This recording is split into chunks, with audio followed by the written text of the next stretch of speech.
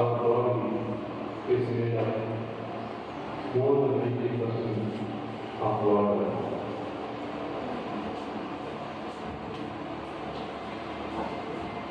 Queremos a